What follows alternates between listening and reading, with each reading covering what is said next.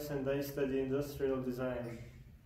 And we are also studying industrial design, and we're the second course of bachelor's degree.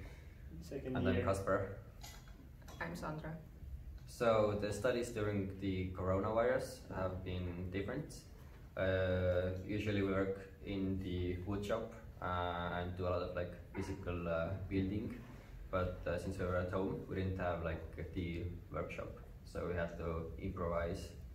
So me personally, I made my mock-ups uh, using cardboard or like paper, uh, which is like kind of different from wood that we usually usually use Yes, and uh, for me it was difficult to like be inspired uh, because uh, we were staying at uh, one place at, in one room for long periods of time, and there wasn't a lot of room for motivation or thinking or inspiration. But as soon as we came back here, the ideas started to flow.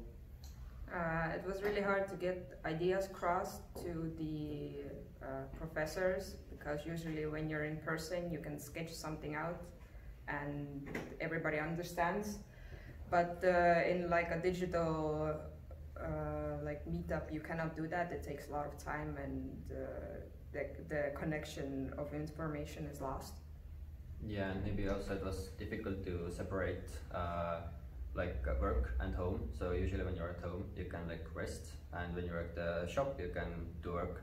But then it kind of got mixed up, and it was like difficult to uh, differentiate between like the actual work time and like free time. So it was also kind of difficult to get used to. So you had to keep a tight schedule.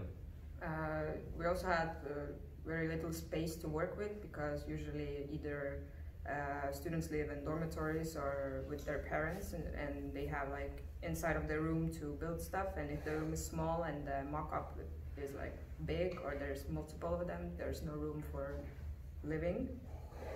So that was a problem basically the whole room is a mess, constant mess that you can't really clean. Yes. Oh, also, uh, because we are studying like product design, industrial design, it's all about physical stuff. But because we couldn't do that, we had to write more papers and digital stuff, uh, and that took more time. And it was something that uh, we're not really used to. Yeah, I can't write. Yeah, I don't know grammar. What? What is What Google is Docs. Grammar? Yes, uh, but we did get to learn uh, a lot of uh, 3D programming and sketching because that was the only medium that we could use. Yeah, but in the end, I think we did learn a bit, but uh, it was sad we couldn't learn more? learn more at school in the workshop. It's good to be back in the workshop, Yeah. I would say.